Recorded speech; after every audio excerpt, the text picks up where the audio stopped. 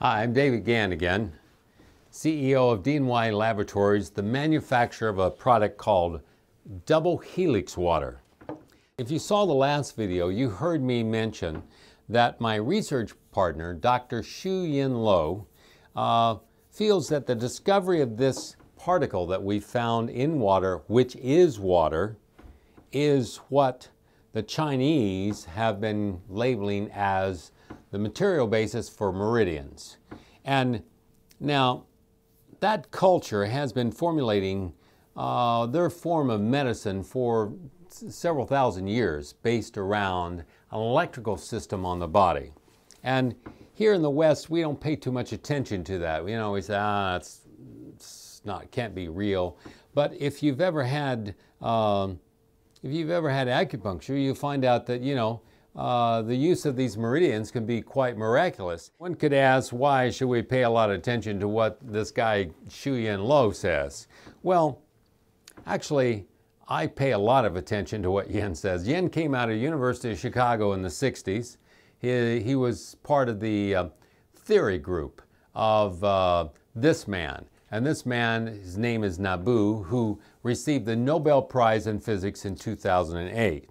And Interesting enough, Yin, Yin's roommate and old high school buddy, uh, that they both came from Hong Kong to study physics, uh, it was this man, and that is Daniel Tsui. And Daniel Tsui also received the Nobel Prize in Physics, I believe in 1998.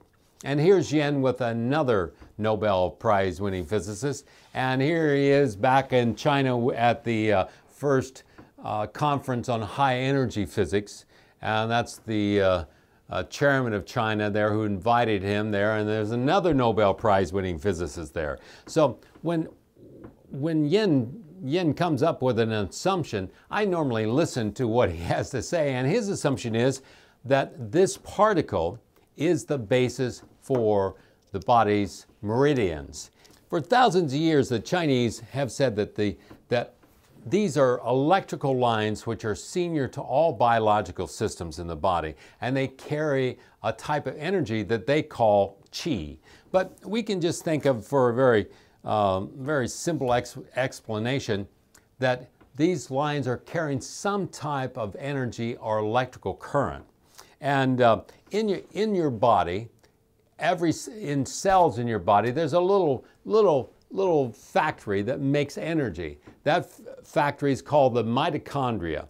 And what happens in that particular part of a cell is it manufactures energy. Now, how important is that energy to your body? Well, if that little thing stops and you don't produce energy, uh, your heart's not going to beat. You're not going to be able to breathe. Your muscles won't work you'll basically be dead. So it's very important that you can produce energy. And there's a little molecule that's produced and sent throughout the body. It's called ATP, adenosine triphosphate, and that molecule is what causes uh, basically it, it is the source of energy for all of all of life really uh, for animals for us for other life forms that is a source of of energy for us and that energy Yin believes is carried on the lines called meridians, and he then believes that those meridians are made out of this phase of water. Because, you know, if you looked at life started billions of years ago, it's not like it had around, sat around and said, oh, we got this, we got that, and we got that. No, it had water to function with.